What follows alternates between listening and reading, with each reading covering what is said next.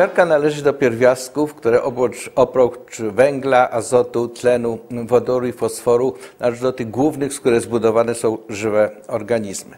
Występuje ona właściwie we wszystkich środowiskach. I tak znajdujemy ją na lądach, w powietrzu, w wodzie. Jeżeli chodzi o lądy, to są głównie siarczane, jak na przykład gips, siarczki, to jest piryt.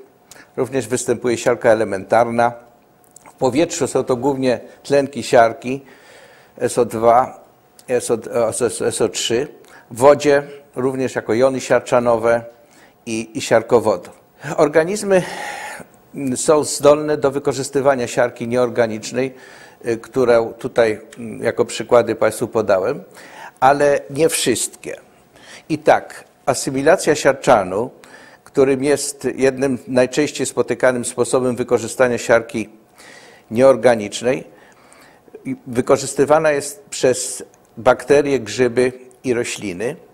I tu jest pokazany na dole schemat, w jaki sposób ta asymilacja siarcza, y, siarczanu przebiega. Najpierw ona musi się dostać do komórki i następnie zostaje, jak to w tej chwili mówimy, aktywowana przy pomocy ATP, to jest wysokoenergetyczny związek do siarczanu fosfoadenozyny, APS, i dalej, przy, przy, dalej do fosforanu, do siarczanu dwufosfoadenozyny. I są to związki, których siarka jest jeszcze, jako występuje w postaci siarczanu, ale siarczanu aktywowanego. I te dwa związki, APS i PAPS, mogą, przy, mogą być, e, służyć do, jako donory siarczanu do mm, sulfonacji różnych związków organicznych. Powstają po prostu estry siarczanowe i te reakcje są jeszcze zdolne do tych reakcji są organizmy takie nawet jak zwierzęta. Natomiast dalszy proces, gdzie już siarczan ulega redukcji do siarczku, to już jest właśnie procesy, które nie wszystkie organizmy są zdolne do, do mm, przeprowadzania. Natomiast robią to bakterie, grzyby i rośliny. Ja, mój wykład będzie dotyczył głównie grzybów i procesów metabolizmu siarkowego u grzybów, które w czasie wykładu mm, potrafię uzasadnić. Ważne jest, że siarka nieorganiczna, która w wyniku asymilacji przechodzi e, ze stopnia utlenienia plus 6 do minus 2, czyli do siarczku, staje się prekursorem do syntezy cysteiny i metioniny, dwóch bardzo ważnych aminokwasów, które nie tylko wchodzą w skład białek, ale również e, są prekursorami dla innych ważnych związków organicznych. Tutaj pokazałem Państwu, jak wykorzystywane są APS i PAPS, czyli jeszcze te sulfotransferazy, e, które wykorzystywane są do tworzenia organicznych estrów siarczanowych i ta siarka z APSu i PAPSu przenoszona jest przez enzymy zwane sulfotransferazami. I tak sulfatowane, sulfatowane bywają m.in. hormony sterydowe, kwas askorbinowy, związki fenolowe, cholina, niektóre białka i niektóre wielocukry. Tutaj już jest dokładniej pokazane, jak przebiega już redukcja e, siarki z papsu, to jest ten związek, do siarczku. Tutaj czynnikiem redukującym jest na DPH związek, jednym z najbardziej powszechnych związków redukujących w komórkach. Aminokwasy, o których wspomniałem, cysteina i metionina, oprócz tego, że wchodzą w skład e, białek, one też e, są elementami bardzo ważnych związków organicznych, jak jest koenzyma, glutation, czy również wtórnych związków siarkowych, do których należą na przykład antybiotyki, penicylina czy cefalosporina a także cysteina jest źródłem siarki dla wielu innych związków organicznych, na przykład niektórych witamin. Natomiast jeżeli chodzi o rolę metioniny, to tutaj wymieniłem tylko jej udział w związku, który nazywa się adenozylometionina. To jest związek powstający z reakcji metioniny z adenozynotrójfosforanu i adenozynometionina jest związkiem, y, który jest, jest dawcą grupy metylowej, która jest tutaj zaznaczona, do bardzo wielu metylacji, ponad 40 reakcji metylacji zachodzących w komórkach i metylowane są właśnie też hormony, neurotransmitery, kwasy nukleinowe, fosfolipidy i węglowodany. Także rola S, to jest tylko wymienione kilka z ról mm, i reakcji, do których S-adenozynometionina jest wykorzystana, ale są również inne reakcje, gdzie już nie chodzi tylko o mm, grupę metylową, tylko inne cząstki, mm, inne fragmenty cząstki adenozynometioniny. Jak teraz przebiega synteza cysteiny u bakterii, roślin i niektórych grzybów? Omawiając proces asymilacji siar, y, siarczanu, skończyliśmy na siarczku. Teraz pokazuję, jak siarczek zostaje już wbudowany do, właśnie do cysteiny, tego pierwszego aminokwasu, pierwszego związku organicznego, gdzie, gdzie siarka jest zredukowana. Siarczek w reakcji z acetyloseryną, to jest acetylowana seryna, seryna jest aminokwasem, ona zostaje acetylowana, i acetyloseryna i, i razem z siarczkiem przy odpowiednim enzymie zwanym syntezą, syntazą cysteinową tworzy cysteinę. I dalej cysteina w następnych reakcjach z acetylohomoseryną, w skrócie OAH, y, daje cystationinę. Ten, jak i cystationina zostaje rozkładana do homocysteiny. Homocysteina jest ba związkiem bardzo podobnym do cysteiny, której wzór wcześniej podawałem, ma po prostu jeden węgiel więcej.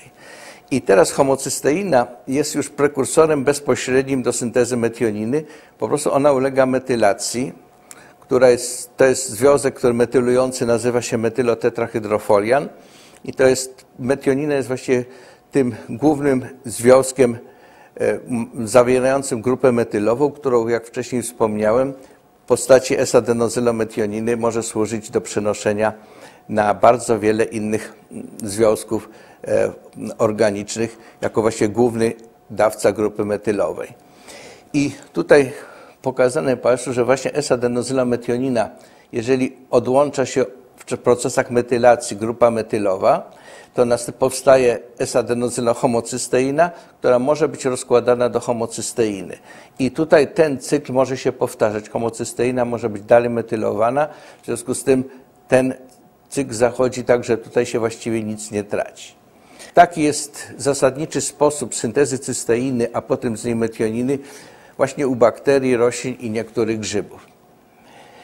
Ale to nie, nie zawsze tak występuje. U niektórych grzybów, jak na przykład drożdże piekiarskie Saccharomyces cerevisiae, proces ten przebiega, mm, syntezy cysteiny przebiega inaczej. Najpierw syntetyzowana jest homocysteina i tutaj acetylohomoseryna jest zbiorcą siarczku, powstaje homocysteina, która w dwóch reakcjach również jest przekształcana do cystationiny i cysteiny.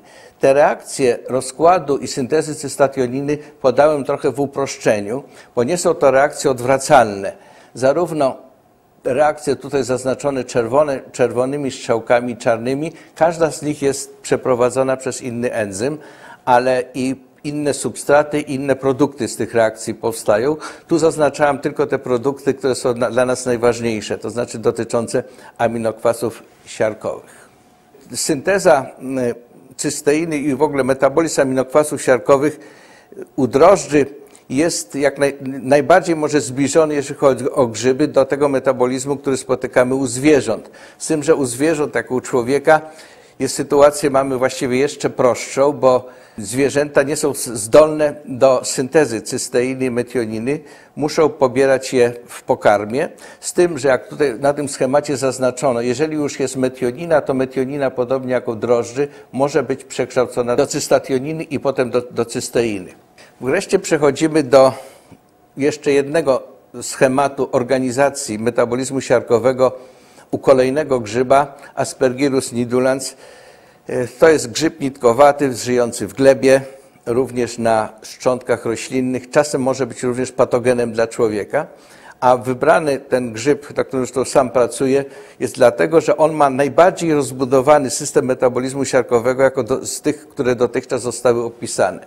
Jak Państwo tutaj wi widzą, może, zarówno cysteina może być syntetyzowana tą samą drogą, jako jest u bakterii i roślin. Tutaj ta, te strzałki E, zielone, ale również jest to droga druga, taka jaka była u Saccharomyces cerevisiae, która jest drogą alternatywną. Czyli w zasadzie e, u ten grzyb, jak kilka innych grzybów nitkowatych, które były badane, mają najbardziej rozbudowany system metabolizmu siarkowego i dlatego są szczególnie ciekawym obiektem do badań e, tego systemu. Można łatwo pokazać, że te dwie drogi są istotne dla e, syntezy aminokwasów siarkowych, szczególnie dla cysteiny. Tutaj mm, pokazano, jeżeli, jeżeli zablokuje się przy pomocy, tworząc odpowiednie mutanty, które blokują poszczególne reakcje tego metabolizmu, to jest, y, to jest enzym, trans, y, syntaza, y, transacetylaza serynowa. Kodowana jest on w tym naszym grzybie przez gen CysA. Tutaj mamy następny enzym kodowany przez gen MEK-A, który syntetyzuje cystationinę e, z homocysteiny. I jak widać, jeżeli mamy, wprowadzimy, mamy szczep, który ma tylko jedną z tych mutacji, on doskonale rośnie.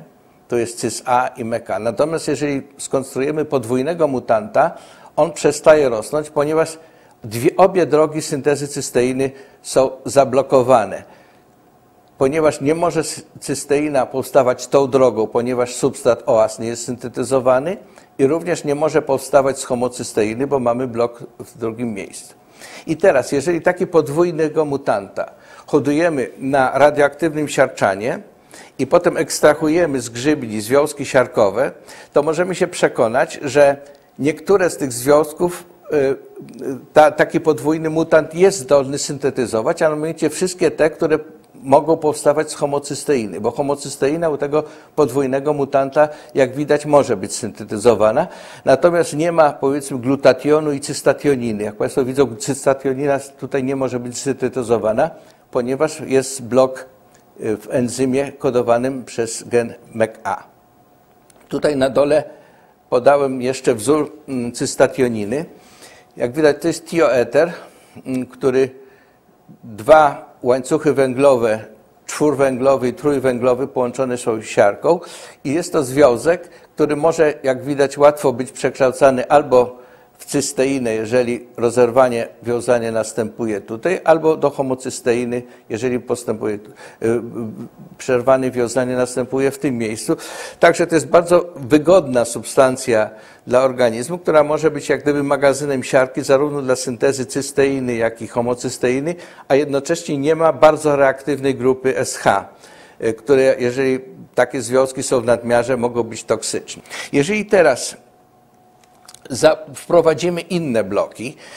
Mamy ten sam blok CysA, który blokuje syntezę acetyloseryny, ale również blok w drugim miejscu, który zablokowana jest synteza homocysteiny y, drogą alternatywną, to taki podwójny mutant, podobnie jak poprzednio, nie jest zdolny do wzrostu, ponieważ ma zablokowane obie alternatywne drogi syntezy cysteiny, ale w tym przypadku również homocysteina już nie może być syntetyzowana. Także właściwie oba systemy włączania nieorganicznej siarki, czyli siarczku, zostają tutaj zablokowane. W związku z tym taki podwójny mutant właściwie nie, nie jest zdolny do syntezy związków siarkowych z nieorganicznego e, siarczanu. Pytanie można jednak postawić, czy te dwie drogi są fizjologicznie zupełnie równowartościowe. Mm, to można zbadać, sprawdzając, jak będą się zachowały również mutanty w metabolizmie aminokwasów siarkowych.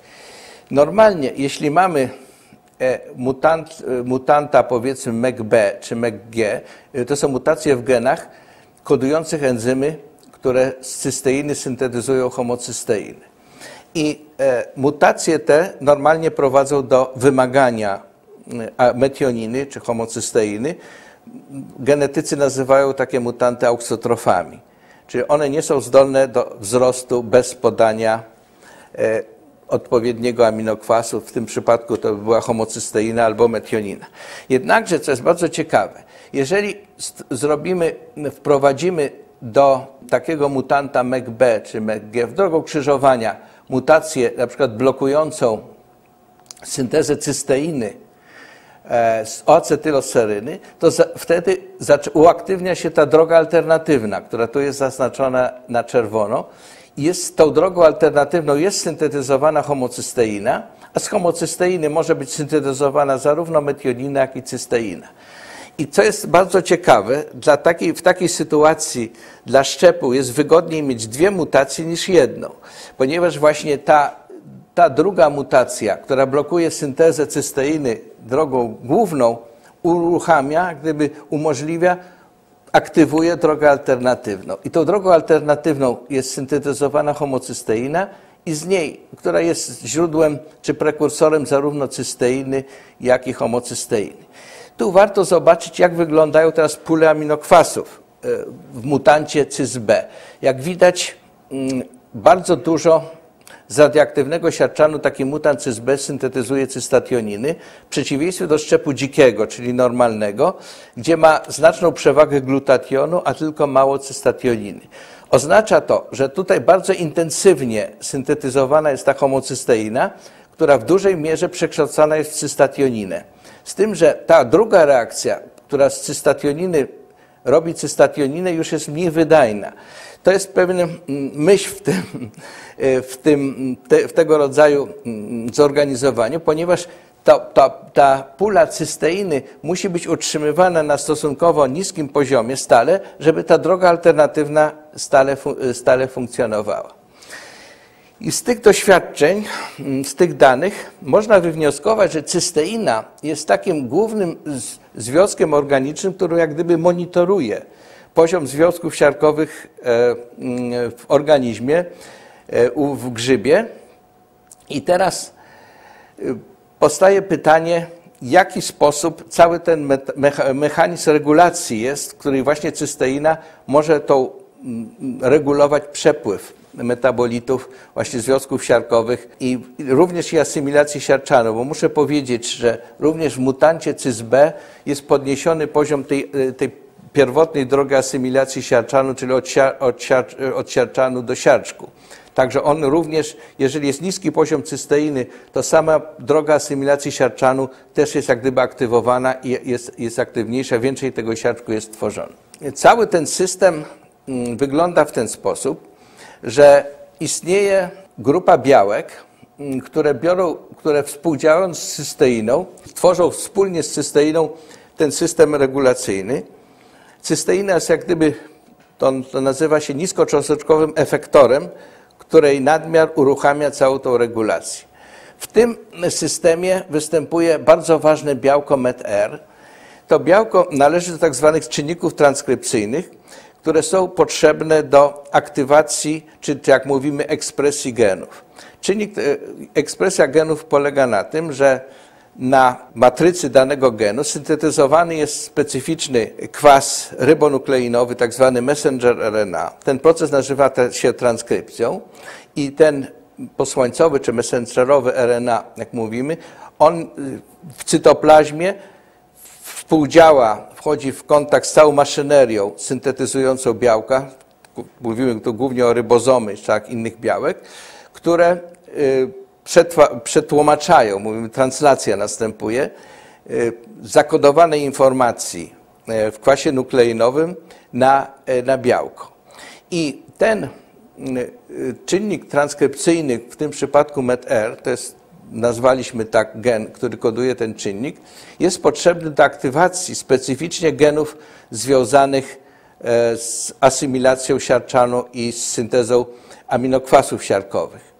I jak widzimy, jeżeli mamy mutację w tym genie MET-R, to poziom tego messengera RNA, który dla poszczególnych genów zostaje, które są regulowane e, przez ten czynnik transkrypcyjny, znacznie spada. To jest po prostu na tej planszy przedstawiony jest poziom właśnie tego specyficznego dla każdego genu, tego RNA, który nazywamy messenger RNA dla genu CysD, CysB, CysC. I jak widać dla samego genu MET-R mutacja nie wpływa na to, to znaczy ten messenger jest dalej syntetyzowany. To oczywiście jest mutacja, która zmienia y, powiedzmy e, informację, to jest punktowa mutacja, która tworzy, tworzy się ten me- messenger RNA, jednakże białko, które syntetyzowane jest z tego messengera jest, jest nieaktywne. Ale, jest to, ale, może, ale sam messenger, mimo że on jest nie, niefunkcjonalny, jest wytwarzany i możemy tutaj do monitorowania tego, czy mutację, mu- mutant MET-R powoduje zmniejszenie syntezy samego MET-R, też również do tego się posłużyć. Tu widzimy, to jest gen SB, który syntetyzuje e, permeazę siarczanową, czyli ten pierwsze białko, która, która jest, które jest potrzebne do, w ogóle do pobrania siarczanu. Jeżeli mamy mutanta, uszkodzony jest mutant y, gen MET-R, to w zasadzie pobieranie siarczanu zostaje wyłączone, ponieważ na, na wstępnym, na pierwszym etapie ekspresji genu permeazy, czyli na poziomie transkrypcji.